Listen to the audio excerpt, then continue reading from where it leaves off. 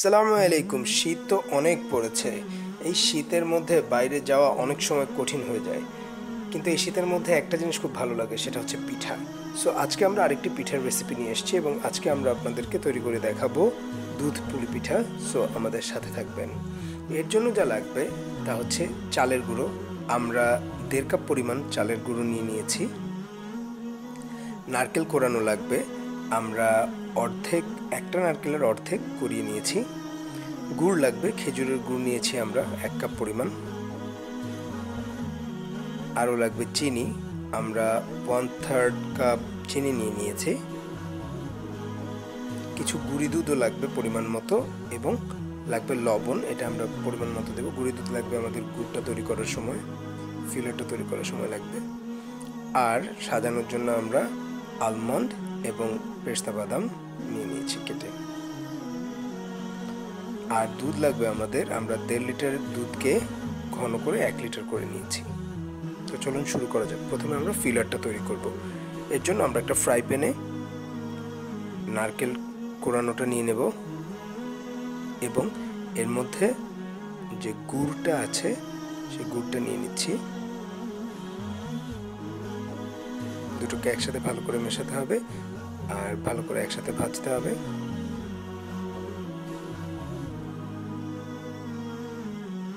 ঠিক ভালো মতো ভাজলে এটা ঠিক এরকম হয়ে যাবে।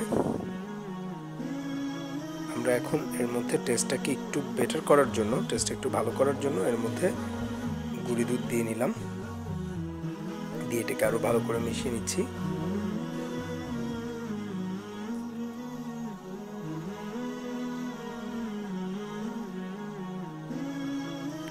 করে মেশানো হয়ে গেলে কিছুক্ষণ পর আমরা এটা উঠিয়ে ফেলতে পারি। আমাদের ফিলারটা রেডি হয়ে গেছে। দুধ পুলের জন্য আমরা এটা উঠিয়ে নিলাম। এখন আমরা চালের গুঁড়োটাকে সেদ্ধ করব। চালের গুঁড়ো সেদ্ধ করার জন্য আমরা দু কাপ পরিমাণ পানি নিয়ে নিলাম ফ্রাই প্যানে এবং কিছুটা লবণ নিয়ে নিলাম। লবণ দিয়ে পানিটা পানির মধ্যে গুলে নিলাম। এখন পানিটাকে গরম করতে দিতে হবে। পানিটায় হালকা বলক চলে আসলে আমরা এখন এর মধ্যে আমাদের যে দেড় কাপ পরিমাণ চালের গুঁড়ো নিয়েছিলাম, সেটা এখন আমরা এটার মধ্যে দিয়ে দেব। চালের গুঁড়োটাকে এখন আমরা সেদ্ধ করব। দিয়ে নিলাম, হালকা একটু নেড়ে নেব। হালকা একটু নেড়ে নিচ্ছি। নেড়ে নিয়ে এখন চুলাটা একদম কমিয়ে দিতে হবে। চুলাটা একদম কমিয়ে দিয়ে আমরা একটা ঢাকনা দিয়ে এটা ঢেকে দেব। ঢেকে দিয়ে এটা পাঁচ সাত মিনিটের মতো এটাকে চুলে রাখতে হবে। পাঁচ থেকে সাত মিনিট পর আমরা এটা উঠাবো। আমাদের এটা ভালোই সেদ্ধ হয়ে গেছে চালের গুঁড়োগুলো। এটা দিয়ে এখন খামি তৈরি করা যাবে। আমরা এটাকে নামিয়ে নেব এখন। হালকা নেড়ে নিচ্ছি। এটাকে নামিয়ে নিয়ে কিছুক্ষণ ঠান্ডা করতে দিতে হবে। ঠান্ডা হলে তারপরে আমরা এটা দিয়ে খামি তৈরি করতে পারব। ঠান্ডা হয়ে গেছে। আমরা ঠান্ডা করার পর এটা দিয়ে খামি তৈরি করছি। এটা দেখালাম না, কেটে দিয়েছি এই জন্য। তো আমরা ঠিক ভালো মতো, খুব ভালো মতো মথে নিতে হবে। খুব ভালো মতো মেখে নিতে হবে। সুন্দর করে, মিহি করে মথতে হবে। ভালো মতো মাখলে এটা এরকম হয়ে যাবে। এটা হয়ে গেলে এখন আমরা এটা দিয়ে পুলি তৈরি করতে পারব।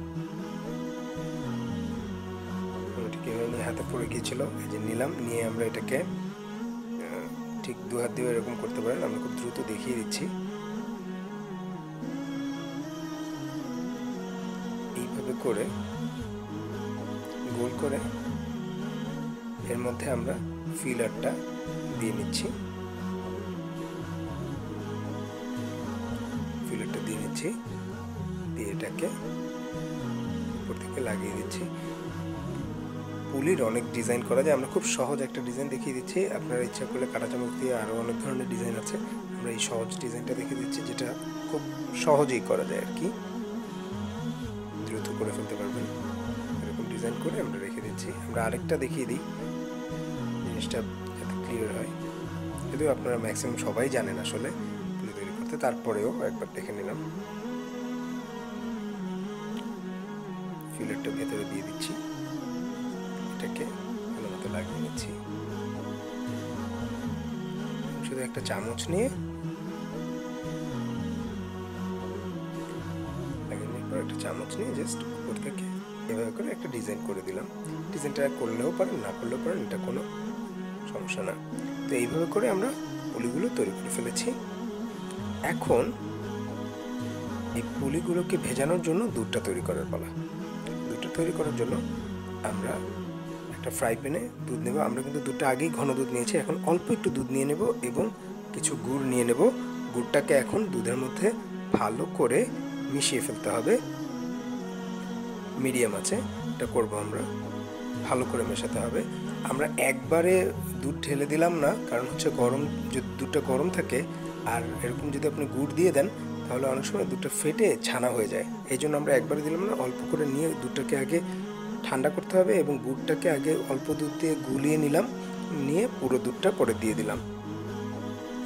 এখন এই দুধটাকে নাড়তে হবে এবং আমরা ওয়ান থার্ড কাপ চিনি দিয়ে দিলাম। চিনি দিয়ে এটাকে ভালো করে নেড়ে নিতে হবে।